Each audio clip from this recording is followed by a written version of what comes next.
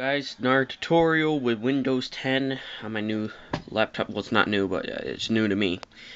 Um, so uh, I've got a Windows 10 laptop now. It was Windows 7, so it's not going to have as many features as normally. But uh, I haven't seen a tutorial on YouTube yet about this, so I figured I'd do it. Um, most people like having CDs and you know listening to music, but why not just convert it, you know, and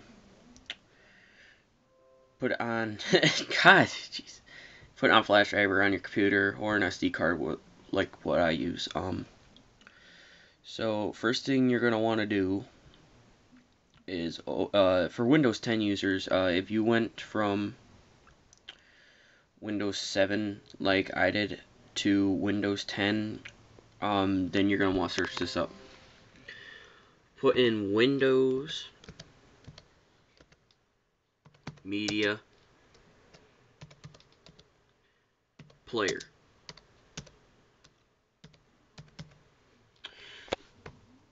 So what that's going to do is it's going to, obviously, you will still have the app from Windows 7. So you're just going to open it up. But you're still going to have program.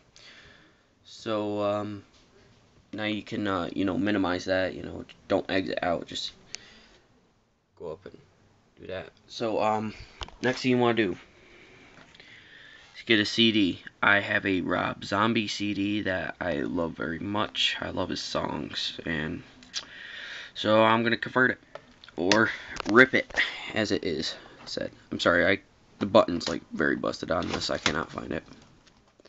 Ah, shit, what button? No, of course. Oh, sorry for my swearing. Okay, put that in. Close it. Let it load. Okay, while that's doing that, I'm gonna get open uh, open up your file manager and also minimize that and whatever uh, thing you have for you know music and you want to sync that now. Uh, I have iTunes, so I'm gonna do that. I'm just gonna open it up. Okay, come on, come on, come on, come on. Come on. Uh, it's gonna might take forever since this. Okay, so you want to see the notification of the D DVD ready. So my iTunes is all loaded up. Now I just gotta wait. Or I could just do this. Okay, so it's all good. Alright, so now that your disk has, uh, since you got a notification, um, you want to open back up Windows Media Player. And as you can see, your disk will be scanned. Uh, the first thing you want to do is go to RIP Settings. Uh, format, and you want okay, format, oh, Jesus Christ, you want to make sure it's on MP3, okay, then you want to go to audio quality and set it to what you want, I want it at best quality, so I got set for that, so once you've got your settings all set to what you want, here's the songs on the CD, then you're going to want to go press RIP CD,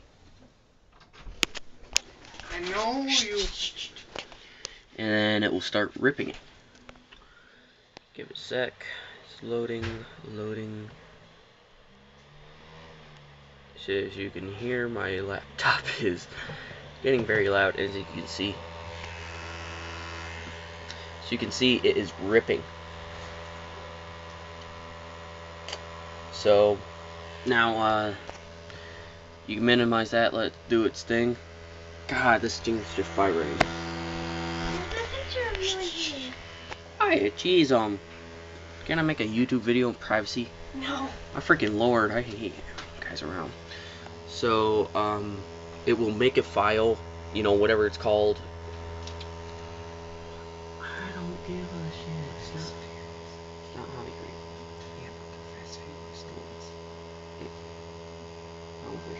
Anyway, um, that was not here before, so I'm going to double click on that. And of course, zombie and dinosaur, I don't know. Rob Zombie obviously stands for, Zombie obviously stands for Rob Zombie. As you can see, here is his songs. So, uh, I don't have a thing where I can pause it. I don't have a good video editor where I can trim it. Uh, I just hope this goes by fast. Yeah, see? Sorry, moving on to the third song. Ripping your CDs is very fast. Once it gets past the first two songs, depending on how many songs you have, it will rip them. It'll start to learn to start ripping them faster. As you can see it's ripping right through them that's funny term but uh, as long as you got this all set up to what you want it will save it even if you close it. If you close and then you got an RCD and you want form, you want rip it then there you go okay I just need to get rid of that noise so now that my ripping is done I now will go to the file and I'm going to drag it to my SD card. And moving. So now you can take out your CD and you can set it aside and you can close tray depending on how many times you plan on doing this. So it's all moved. Now I'm going to get this file off of my computer. I'm just going to delete it. Okay, exit out go to recycle bin, right click, delete, yes. Okay, that's all done. Now I'm going back to my iTunes. Let that load. Okay, so that's all loaded up. Now, of course, I gotta go to this. Go to add. I'm just showing this off. I know most people don't use iTunes, but I do. But I'm gonna show you how to set it up uh, because Groove Music's still set up same way. So I'm going to my SD card. Uh, it's to be under this. And then I'm to select all files by pressing Control. You see? Control, press it, and A. And it'll select them all. And then all I gotta do is press open. Um, and that should be it.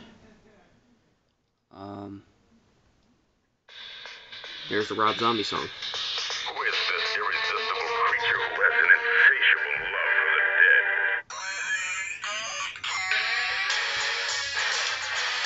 there you go, guys. That's how you um, rip your CDs to your PC on Windows 10. Thank you for watching.